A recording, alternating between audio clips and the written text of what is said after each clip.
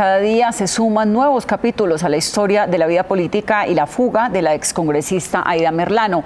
Ante el hecho, están saliendo a relucir sus aliados políticos, no solamente en el Atlántico. Margarita Ariza, ¿quiénes más la acompañaron en sus aspiraciones de llegar al Senado de la República? Hola, ¿qué tal? Muy buenas tardes. Según las investigaciones que adelanta la Silla Caribe en esta sección del país, Aida Merlano no solamente tuvo padrinos, alianzas políticas aquí en el departamento del Atlántico, sino en Bolívar, donde sacó más de 35 mil votos. Por eso se preguntan cómo hizo para conseguir esta votación que la llevó al Senado de la República. Detalles en el siguiente informe.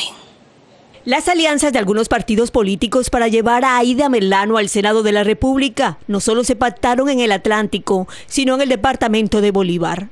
Laura Ardila, editora de La Silla Caribe, dice que la Casa Montes fue clave en su elección la votación que sacó Aida Merlano, que fue más de 35 mil votos, eh, fue gracias a una alianza que ella tuvo con el grupo de William Montes, que es un ex senador conservador que está condenado por haber firmado el pacto de Ralito con los paramilitares. Hasta ahora los ojos del escándalo han estado puestos en el Atlántico, pero la verdad es que esa ex senadora sacó la mitad de sus votos en el Atlántico y la otra mitad en Bolívar. La pregunta que dice deben hacerse las autoridades es cómo consiguió los votos en ese departamento, donde era poco conocida. Muy llamativo que Aida Merlano haya sacado esa votación además ahí porque ella era una absoluta desconocida políticamente hablando el año pasado en Bolívar. Ella nunca había hecho ningún trabajo legislativo que tuviera que ver con ese departamento. Eh, pues habrá que ver eh, cómo, de qué manera y si el escándalo del Atlántico eventualmente puede llegar a tener tentáculos también en Bolívar.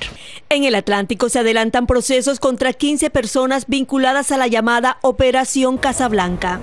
Todos están a la espera de la programación de la audiencia preparatoria del juicio por delitos relacionados con fraude electoral. En Barranquilla, ninguno de los políticos que acompañaron a Ida Merlano en sus aspiraciones al Congreso ha querido referirse al tema.